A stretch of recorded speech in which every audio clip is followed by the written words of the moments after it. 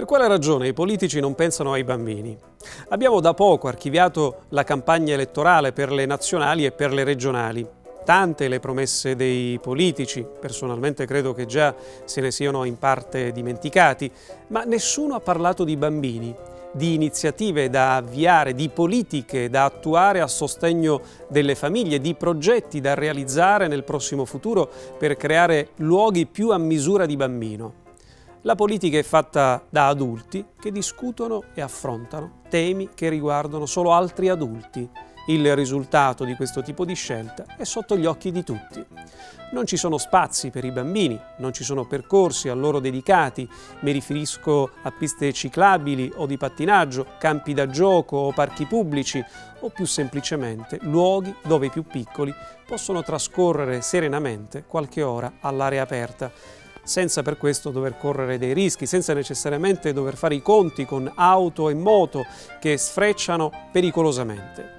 I parchi pubblici versano in uno stato di degrado assoluto, il verde è praticamente inesistente, di piste ciclabili neanche l'ombra, di iniziative che mettano al centro i bisogni dei bambini se ne contano pochissime.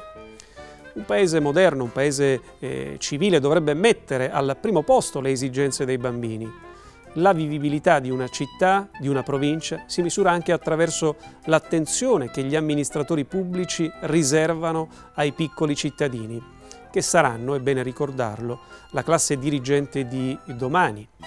In paesi come l'Austria, la Germania, la Svizzera, ma anche in regioni come il Trentino o l'Emilia-Romagna, da anni ai bambini è dedicata grande attenzione non a caso, ad esempio, nei ristoranti e in molti luoghi pubblici è normale trovare seggioloni o fasciatoi. I parchi pubblici sono numerosi e ben curati, le piste ciclabili sono una cosa normale e i bambini che vogliono tirare due calci ad un pallone non sono costretti a farlo in una piazza e magari tra le auto, ma in campi in erba aperti a tutti, in spazi all'aperto dotati di ogni comfort. Nella provincia etnea la campagna elettorale non si è conclusa, anzi a giorni eh, sarà ancora più intensa. A metà giugno, come sapete, si vota per il comune e la provincia. Un esercito di candidati è pronto a scendere in campo. Per molti una specie di concorso pubblico. L'elezione significa assicurarsi uno stipendio per i prossimi cinque anni. Un invito ai candidati alla carica di sindaco e a quelli che aspirano a diventare presidente della provincia.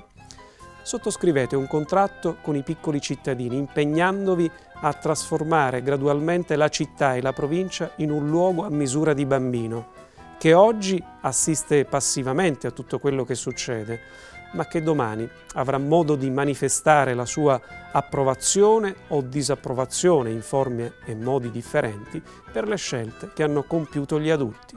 Un caro saluto da Antonello Zitelli.